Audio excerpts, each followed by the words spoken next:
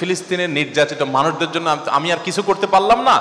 আমার তো উচিত ছিল আমার জীবনটা দিয়ে দেওয়া। জীবন তো দিতে পারলাম না, আমি অন্তত আমার এতটুকু স্যাক্রিফাইস করলাম যে দোকানে কেনা বেচা অর্ধেকে নেমে আসবে, হয়তো আরও অনেক কমে আসবে, হয়তো আমার অনেক কষ্ট হবে, আমার সংসার চালাতে অসুবিধা হবে, আমার ব্যবসায় লস হবে। তারপরও আমি সকল স্যাক্রিফাইস করব আল্লাহর জন্য ওই নিরীহ মানুষগুলোর দিকে তাকিয়ে। আমি এটা করার জন্য এই পণ্যগুলো আমি বয়কট করছি। আপনিও হে ক্রেতা, আপনিও আল্লাহর জন্য বিবেকের তারণ আপনি বর্জন করুন। এরকম ব্যানার যদি কোনো কেউ লাগিয়ে দিতে পারেন, যে আপনারা এই দোকানের পণ্য কিনেন, আমি বিশ কিলোমিটার দূরে গিয়ে হলো সেই দোকান থেকে আমি নিজে পণ্য কিনবো ইনশাআল্লাহ। আপনারা যারা আছেন, আপনারা এই বিষয়গুলোকে মাথায় রেখে যদি আপনারা একটু মার্কেটিং করেন, আপনারা যদি একটু প্রচারণা চালান, আপনারা অনেক মানুষ এখানে আছেন, অনেকগুলো ডিলার আপনারা আছেন, তাহলে সেক্ষেত্রে আপনার ব্যবসায় লাভ হোক বা না হোক, এমনকি ব্যবসা যদি লসও হয়, ইনশাআল্লাহ আল্লাহর কাছে আপনার পাওনা নিশ্চিত হবে। দুনিয়ার মানুষ ভুলে যেতে পারে, আল্লাহ তালা ভুলেন না। আল্লাহ তালা কোনো কিছু কম দিবেন না ইনশাআল্লাহ। আপনারা চেষ্টা করবেন তো ইনশাআল্লাহ। আমি তো মনে করি যে এই প্রেক্ষাপটে, এই বাস্তবতায়, ফিলিস্তিনের এই বাস্তবতা অন্তত, আপনারা যদি প্রত্যেকে আন্তরিক হন এবং সচেষ্ট হন, তাহলে সেক্ষেত্রে আপনারা বাণিজ্যিকভাবেও লাভবান হতে পারেন, কিন্তু সেটা মূল উদ্দেশ্য থাকবে না।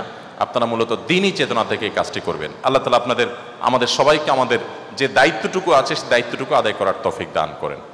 আপনি একজন ডিলার হিসাবে আপনার যতটুকু করার সুযোগ আছে, আপনি ততটুকু কতটা করেছেন?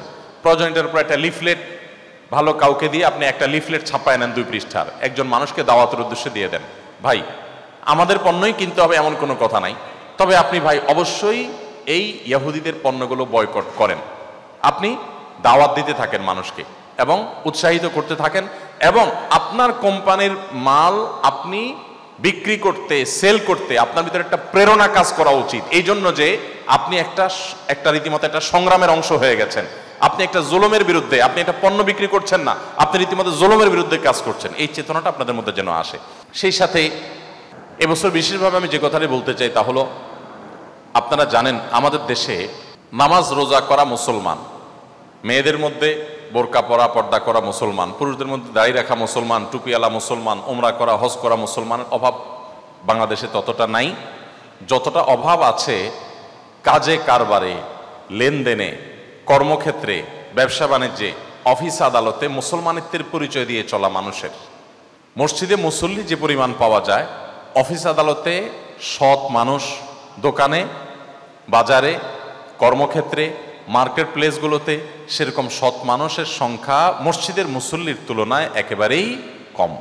অথচ আমাদের জান্নাত নির্ভর করে অনেকখানি এই বিষয়গুলোতে সততার উপর। আমাদের ইমানটা যখন বিশুদ্ধ থাকবে, ইসলামের মৌলিক কাজগুলো যখন আমরা করব, পাচক্ত নামাজ ঠিকমতো পড়ব, জাকাতটা ঠিকমতো দিব, রমজানের রোজাটা রাখব, তফিক হলে হজ করব, বেসিক কাজগুলো করলাম এর বাইরে আমাদের জীবনের মূল অংশ যেটা আমাদের জান্নাত বা জাহান্নামকে নির্ধারণ করে দেয়, সেটা হলো আমাদের এই লেনদেন। ব্যবসায় আপনি লাভবান হন বা না হন, আপনি যদি সততার সাথে ব্যবসা করতে পারেন, তো আপনি লাভবান হওয়ার পরে কোনো সন্দেহ নেই, কোনো সন্দেহ নেই। লাভ যদি আপনি শুধুমাত্র টাকা পয়সা কতগুলো আহরণ করাকেই ধরে নেন, তো আমি আপনাকে বিনয়ের সাথে বলতে চাই, এইরকম তথাকথিত লাভ পৃথিবীতে বহু মানুষ করেছে, কিন্তু তারা আখেরাতের অশান্তি তো অনেক পরের বিষয়, দুনিয়াতে তারা শান্তি জিনিসটা পায় নাই। আপনার আশেপাশে আপনি দেখবেন, বহু লোককে দেখবেন, টাকা পয়সার পাহাড় জমিয়ে ফেলেছে, কিন্তু শান্তির দেখা পায় নাই। শান্তি দেওয়ার মালিক আল্লাহ তালা আল্লাহ তালা যখন শান্তি দিবেন, তখন কুড়ো করে দিবেন। আর আল্লাহ যখন শান্তি দিবেন না, তখন আট্টালিকার মধ্যেও শান্তি দিবেন না। অতএব, আপনি আপনার চেষ্টা থাকবে সততার সাথে ব্যবসা করা আমি জানি এই বিষয়ে ওয়াজ করা যত সহজ, আমল করা তত সহজ না। আমল করা অনেক কঠিন। দাঁড় করে দিলে সততার উপর আপনি অনেক কথা বলতে পারবেন। কিন্তু ফিল্ডে কাজ করাটা অনেক কঠিন কাজ। আর এই কঠিন কাজটার বিনিময়ে তো আল্লাহ জান্নাত দিবেন। আল্লাহ আমাদের সবাইকে তফিক দান করুন। জাজাকমুল্লা খের